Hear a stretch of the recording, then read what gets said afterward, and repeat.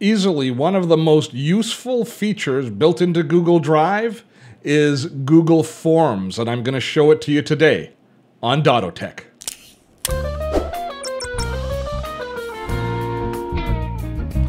Steve Dotto here. How the heck you doing this fine day? At Dottotech, we make technology easy so you can do more. Now, we've shown you a lot of different aspects of Google Drive in the last little while here on the channel, but I don't think that there's a more pleasant surprise than the features that are built into Google Forms. You can spend a lot of money on an online forms package, and I'm going to tell you right now that 80%, maybe more, of what you can do on any of those packages, you can do for free using Google Forms. Don't believe me? Well, let me show you.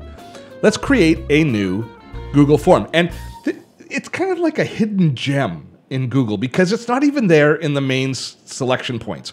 Docs, sheets, slides, all great packages, but none of them do what this one does Google Forms. Now, we can start with a blank form or a template. I'll just show you the template to start because it'll give you an idea of some of the things you might want to do a form for. Now, this is to create online forms that capture information. They can be registration information, they can be information, they can be contact information, they can be uh, applications, anything that you want to collect online. It could be hot dog orders for your school, for, for, for, the, for the sports day lunch. Anything that you want to collect in an online form they are set up to collect that information and deliver it to you. So you see here, they've got some templates. Now, graphically speaking, these are not going to be the most beautiful forms on the planet. This is not a spectacular landing page, page form building tool that looks spectacular. It, functional would be the word of the day. But look at what they give you to start, just to give you some ideas. Tickets, quizzes, assessments, worksheets in the education space, customer feedback, event feedback, order forms, job applications, uh, request forms for work or time off, event registration forms, um, contact time, finding a time for a meeting, an RSVP for a party or an event, party invites, t-shirt sign up forms. We have uh, contact forms. Uh, you get the idea. Let's start with a blank though, and you can see what happens. So when we start with a blank form, it is basically brought, we're basically brought into a shell that allows us to decide what type of question we want and what options we're going to give people to enter that information.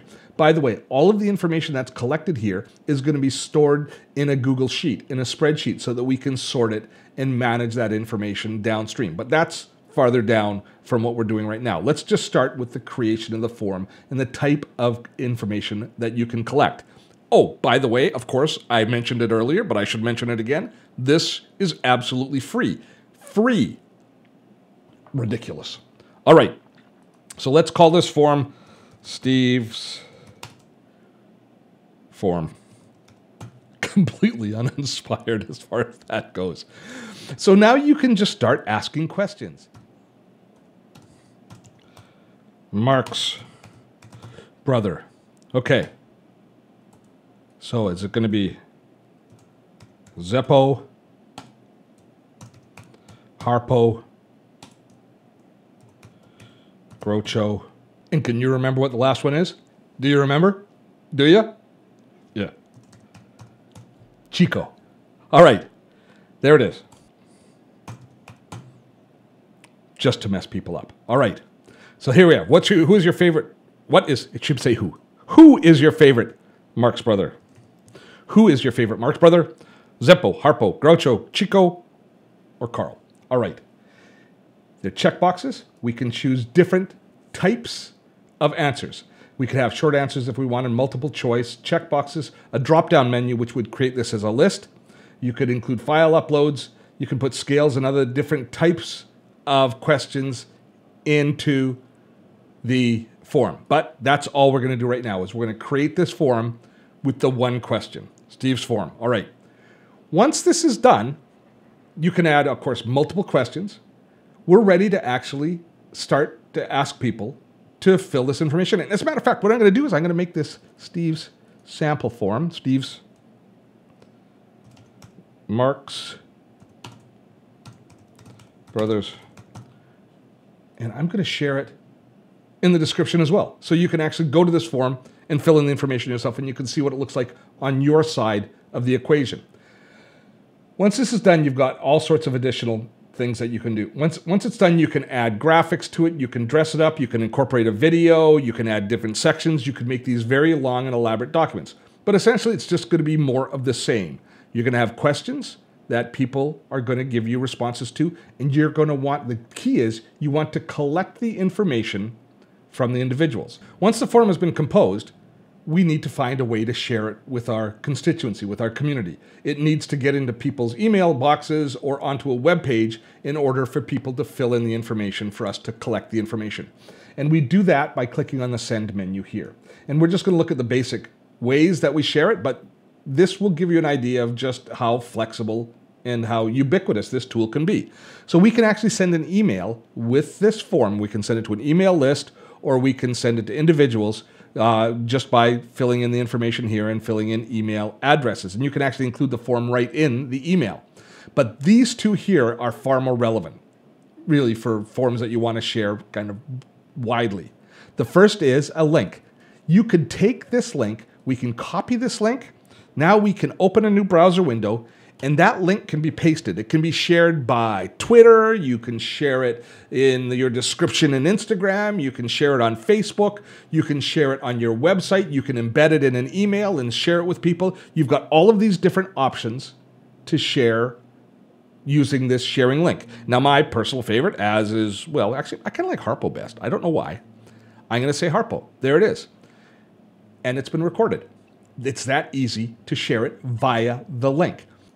Let's go back to the form and take a look and already it's registered a single response. We click on the responses and it's told us that the first response here is Harpo. Now you're going to be able to open these response forms in a Google Sheet.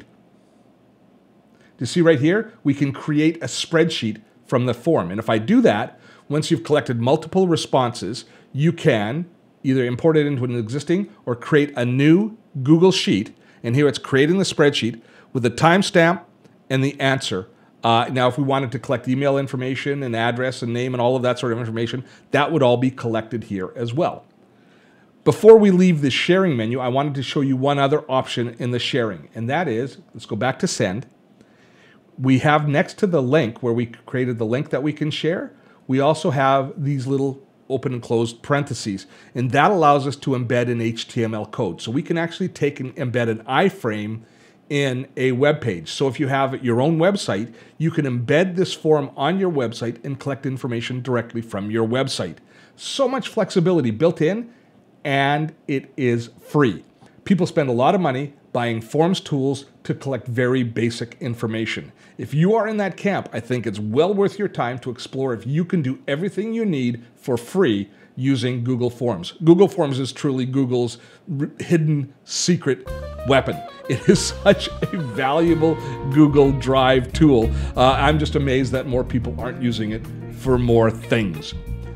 I hope you found today's video to be useful, and I encourage you to comment below and let me know if you did. If you have any questions about Google Forms, share them. Even though I don't have time to respond to each and every question, I guarantee you I read every comment. Now, I have two favors to ask. First, please share this video with others, especially with educators, teachers, people who you think might really find Google Forms to be useful.